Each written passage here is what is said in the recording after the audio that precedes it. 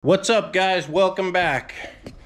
I shot this video over a couple months probably uh, in between doing other stuff and well you know me being lazy.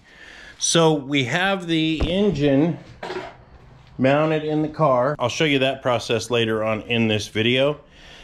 After I got the engine put in, I realized I needed a different steering rack. So I bought these uh, hooker motor mounts.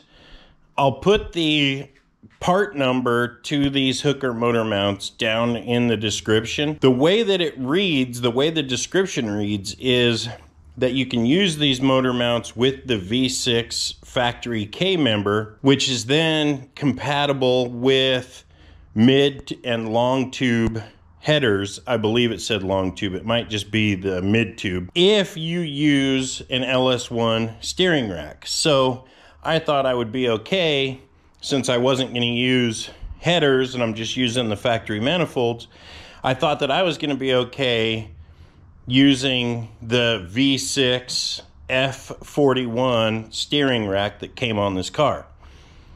That turned out not to be the case, so I had to purchase, I think I purchased the FE4, I believe. I'll correct that again in the description. I'll have to go back and double check my order. Anyway, that rack came in and is installed. Now, if you use the F41 rack that comes with the V6. When you move the alternator to the lower alternator mount, the rack, the steering gear doesn't allow the alternator to fit there, and that steering knuckle rubs on the exhaust manifold. So you have to do an LS1 steering rack or you're going to run into problems.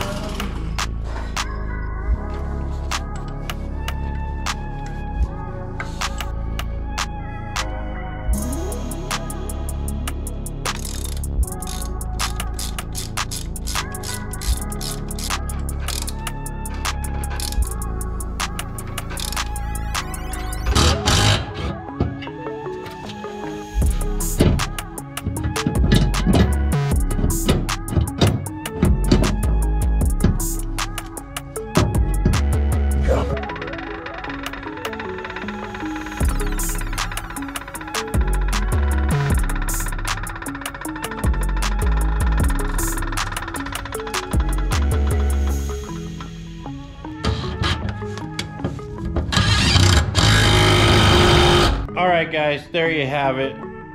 Engine's installed in the car. I have no idea where this video started and where it ended up.